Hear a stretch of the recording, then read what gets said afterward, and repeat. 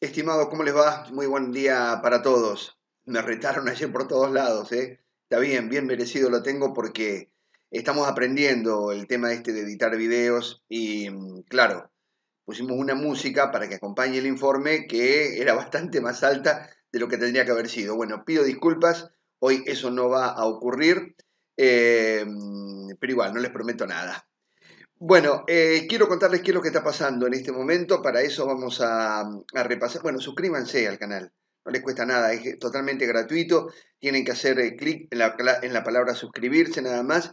Y si quieren saber cuándo nosotros cargamos la información, hagan clic en la campanita y automáticamente les llega la notificación eh, de la información. Así que ni siquiera van a tener que ir a buscarla. La información los va a ir a buscar a ustedes, la información meteorológica, cada vez que a través de nuestro canal estemos eh, agregando más, más datos.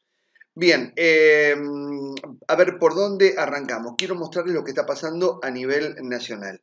Por un lado, esto que parece cielo despejado o con poca nubosidad no es así. Prácticamente todo lo que es el centro y norte de Argentina está con abundante nubosidad. Lo que pasa es que esta nubosidad no tiene el desarrollo de esta que podemos ver acá, donde los tonos rojos hasta delatan la presencia de algunas tormentas. Algunas tormentas así organizadas en forma de línea entre el Uruguay y la provincia de Santa Fe, atravesando entre ríos, algunas tormentas sobre el centro de la provincia de Buenos Aires, otras sobre la desembocadura del Río de la Plata, el Río de la Plata exterior, eh, pero es nubosidad también, nubosidad baja, estratiforme, que genera lloviznas y hasta alguna, alguna nevada. Está favoreciendo mucho para que todo esto sea así, esta nubosidad que podemos ver en esta imagen, que se asocia en torno a un vórtice, un vórtice que tiene su carga de aire frío en altura y que está ahí en el Océano Pacífico. Y parece mentira, pero esto, en su intento de avanzar sobre el centro de Argentina, de volcar hacia el centro de Argentina, es lo que está favoreciendo para que eh, acá se forme un profundo centro de baja presión. Eh, entonces, si analizamos la zona de Cuyo, lo que podemos observar es que hay todavía abundante nubosidad, pero más raleada que en los informes que los días anteriores. Por lo tanto, tiende a mejorar Cuyo. Insistimos en que este jueves va a ser de transición. Va a ser frío, va a ser algo nublado, pueden darse las últimas lloviznas, pero esas lloviznas van a convivir todavía con heladas a nivel del suelo. Em, es el día en el que lentamente las condiciones van a ir cambiando hacia una mejoría. En la provincia de Buenos Aires, no. En la provincia de Buenos Aires, más que una mejora temporaria, no esperen. De hecho, ha mejorado en los lugares más castigados por el temporal. Mar del Plata tiene algunas precipitaciones, incluso algunas tormentas, pero ya no tiene el viento que tuvo hasta ayer. Sin embargo, a no confiarse. Decíamos, venimos sosteniendo que es una situación muy engañosa. Se está armando el centro de la baja presión. Eh, ¿Cómo podemos ver esto en los mapas del tiempo?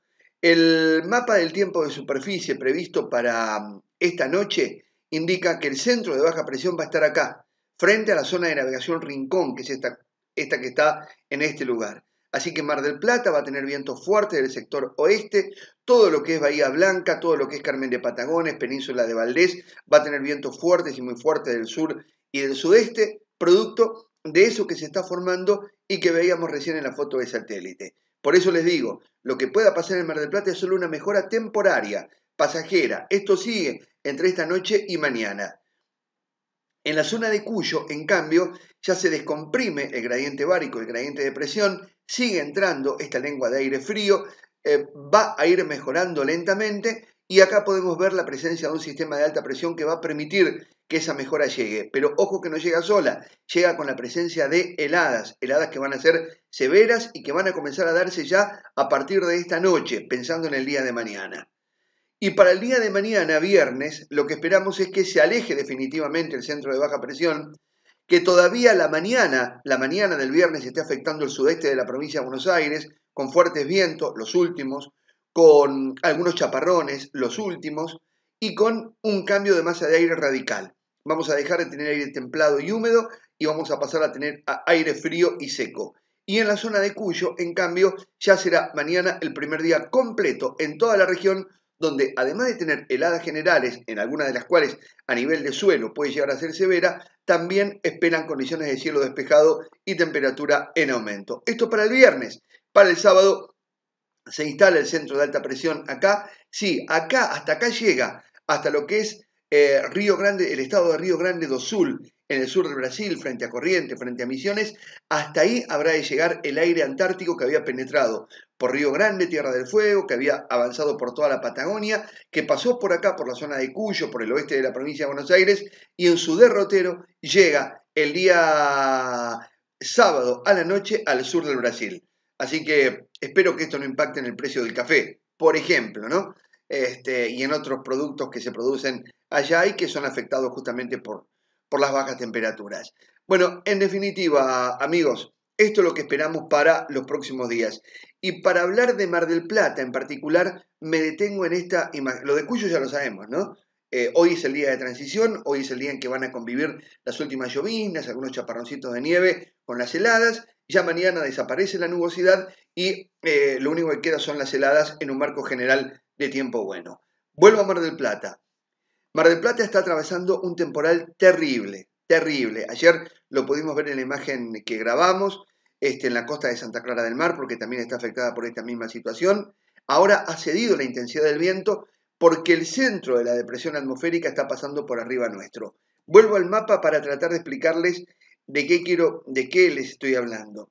Bueno, este centro de baja presión, que a ver cuándo, esta noche va a estar ubicado al sur de Mar del Plata, frente a la zona de navegación Rincón, antes se habrá formado acá, se está formando de hecho acá, va a pasar por Mar del Plata y es por eso que esperamos esa mejora parcial y temporaria.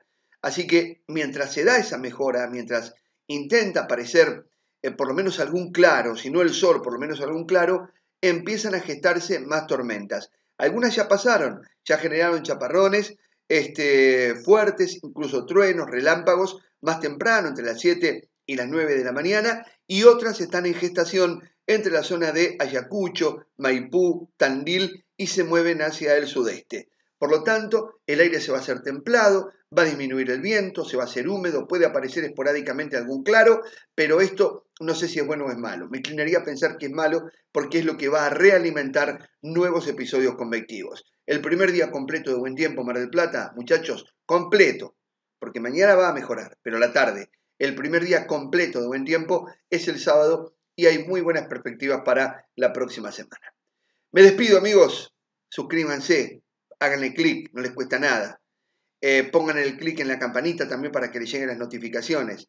Y les recuerdo que el curso de meteorología no tiene principio ni no tiene fin. Está presente para que ustedes cuando quieran, cuando puedan, lo hagan. Esto nos simplifica el trabajo a nosotros como para no tener que explicar qué es lo que queremos decir cuando decimos algo, porque ustedes cuando entienden cómo funciona esta máquina termodinámica, pueden tomar mejores decisiones y entienden mejor la dinámica de la meteorología. Amigos, muchas gracias por todo. Hasta cualquier momento. Gracias.